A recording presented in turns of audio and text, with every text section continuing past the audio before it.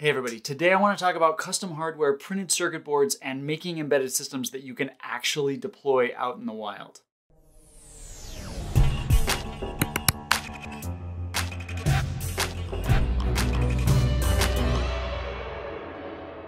So welcome back everybody. Most of the content on this channel is software based. I have done a few videos on embedded systems. I'll link to those in the description. And some of those videos talk about how we write software that interacts with hardware. But I've been thinking for a while that I actually want to do a video on making hardware. And then our friends from NextPCB contacted me. They wanted to sponsor a video. I wanted to provide some discounts to my audience. So more details on that later and down in the description. But the point is, is today seemed like a really good day to talk about custom hardware. Now, if you've watched this channel at all, you know that I love software. But when I started getting into embedded systems back in 2005, 2006, one of the things that I actually really loved about embedded systems was that I actually got to start developing hardware as well as software. And that's really cool when you find that you have a need that you you can't find a commercially available product that provides the hardware capabilities that you need. It was just really awesome as a software guy who hadn't really gotten into this to be able to then craft my own hardware that could accomplish the things that I needed done. And I see this over and over again in my students when I teach embedded systems. So usually when I start teaching students embedded systems, we're working with stuff like this. We've got development boards, we have some sensors, components connected through breadboards and jumper wires. And this is really good for understanding the basic concepts of what we're working with, but it doesn't take very long with this kind of setup before students raise their hand and say, hey, how could I make something that actually, like, that I could wear, that you could take for a run, that I could actually feel like,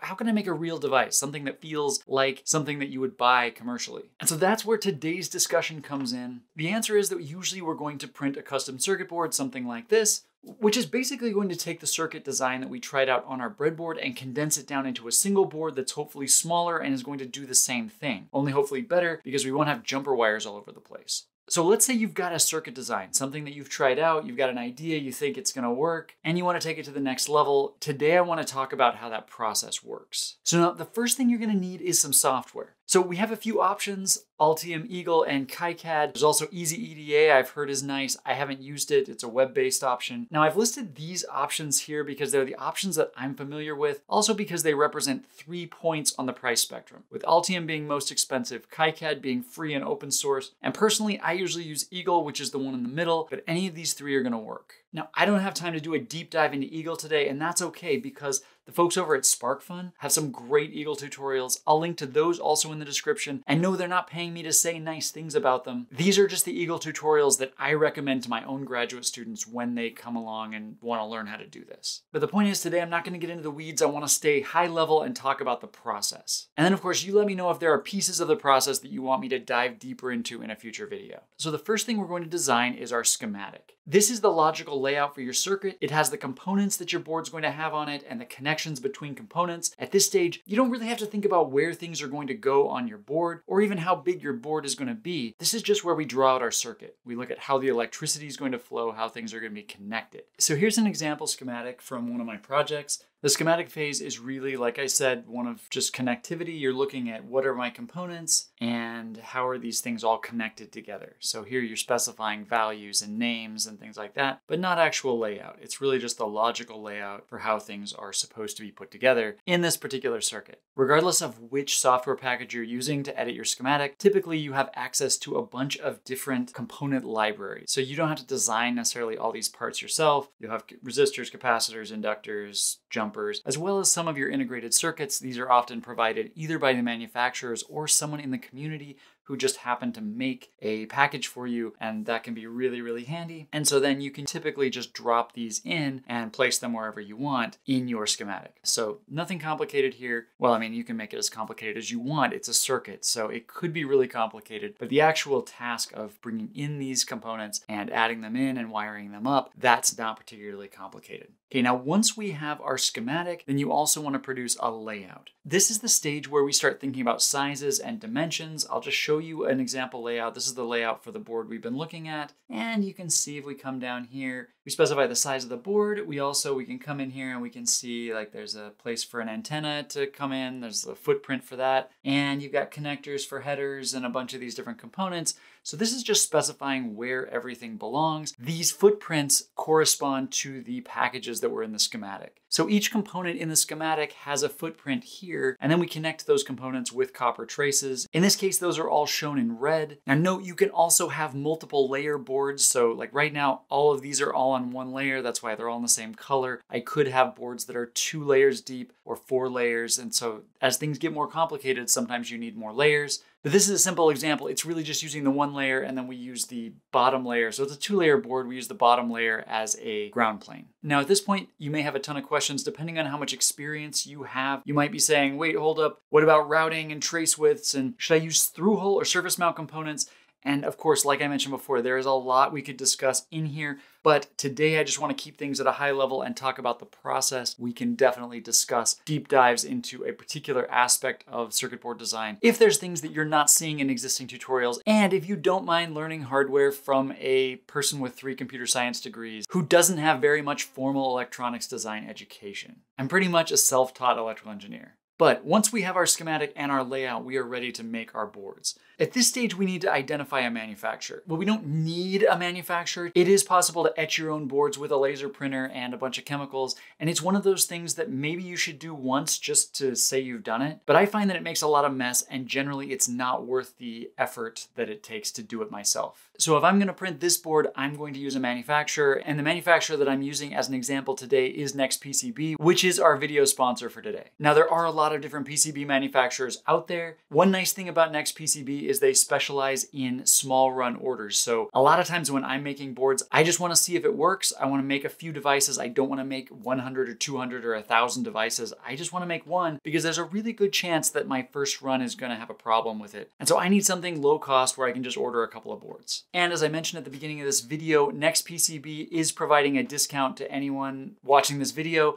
I'll put the links down in the description, but these discounts can bring your price down even further, especially on your first order, and I'm guessing no one's gonna complain about that. Okay, so now regardless of who you go with, the next step is generating your Gerber files. No, this has nothing to do with baby food. Gerber is just a standard vector format that has become this standard for sending PCB designs to manufacturers. And so whatever software you're using, that software is going to be able to generate Gerbers for you. So here in Eagle, you use the CAM processor to generate Gerbers, and we can go through and we can look at the different layers and, and of course we can customize some things here. I'm just gonna leave everything as the standard defaults right now. And then using those defaults, I'm just going to export these out to my hard drive pretty easy. Now in this stage, it's really important to keep in mind and take a look at the manufacturer's instructions. Now this is because each manufacturer has different limits. They may limit how thin traces can be, how close together elements can be, and you don't want to put something in your board design that they can't actually make. So usually I find the defaults to be good enough, they usually work, but you just want to be careful. So you don't end up spending money and waiting for shipping just to find out that your boards you ordered don't work. One other thing at this stage that I think is really cool is that NextPCB also offers their own free analysis software. They call it NextDFM. It's free and it's there to check your design files for you just in case you happen to miss something in their limitations. And it will basically take a look at your design files and help identify errors before you order, which can also save you time and money. So I definitely want to point that out. Okay, so now once we have our Gerber files, then it's time to actually order our printed circuit boards.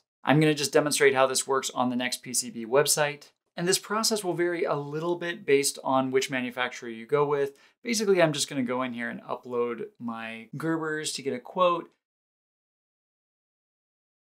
And then in addition to uploading our Gerbers, you're going to come down here and you can see there's a bunch of different options. There's things like do you want your boards to be printed on FR4? That's the default, but there are a few different options that you can see here. You can select how many layers you want to print, what the board type, the size, a lot of this is going to be populated automatically when I upload my Gerbers. Um, you're also going to specify how many you want to make and the color of the solder mask. And I'm not going to go through all these details. There are a lot of them. The main thing to keep in mind is that most of the time the defaults work great, especially for a first project where you're just testing this out. And going with the defaults often means less customization for the manufacturer, which means your price is usually a little bit better. So if this is your first PCB, I would stick with green and you know white silk screen and standard PCB thickness and all of that, just because that's going to keep your price down and it's going to keep your shipping time faster because it means they don't have to configure things on their machines differently. They can just run your job with the same settings that just about everybody else has. Now, if you have specific needs, especially once you know what you're doing, then feel free to customize to your heart's content. Okay, so now once you have ordered your boards, then you're gonna have to wait a certain amount of time. That depends on the manufacturer, where they're shipping from. And of course, during this pandemic, sometimes shipping seems to be taking a little bit longer than usual. But once your board arrives, you're gonna get something like this,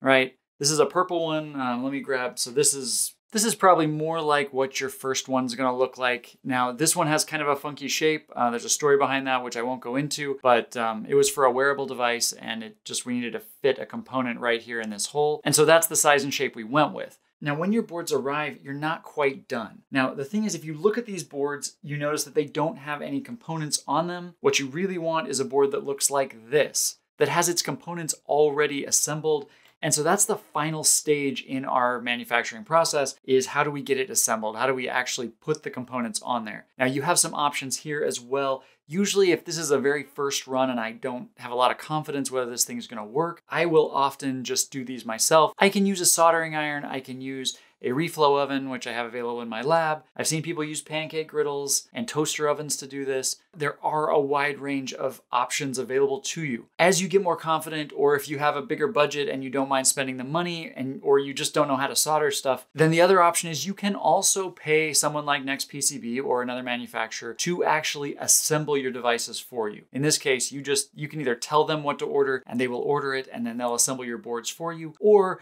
you could ship them the parts, you order them yourselves and ship them to them. And you just tell them how you want them to actually assemble the board. And then they will go ahead and build it for, of course, a price. And that's definitely the way to go if you're making a lot of boards. If I'm manufacturing a device, if I'm making thousands of these things, there's no way that I'm going to assemble them one by one by hand. That just takes too much time. It's not worth the effort. But if I'm only doing one and I think maybe I want to make sure this thing really works and I want to be able to test stuff out as I go, then it often does make sense, in my opinion, to solder things and assemble them by hand. And so I know I've stayed pretty high level and there's a lot of details that I have left out in this video. Hopefully we'll pick some of those up in future videos, but I hope at this point it gives you an idea of what the process looks like when it comes to making printed circuit boards and your own custom hardware. And I hope this gives some of you out there who are just thinking about getting into this a little more confidence. This is really not that crazy difficult to do. You can do it. Thanks again to NextPCB for sponsoring this video, and best of luck to all of you as you get started making your own printed circuit boards and custom hardware as you expand your repertoire outside of just software. Because in my opinion, that's when embedded systems start to get really fun, is when you're playing with both. I hope this is helpful. Drop this video a like if you enjoyed it, subscribe if you don't want to miss my next videos, and until next time, I'll see you later.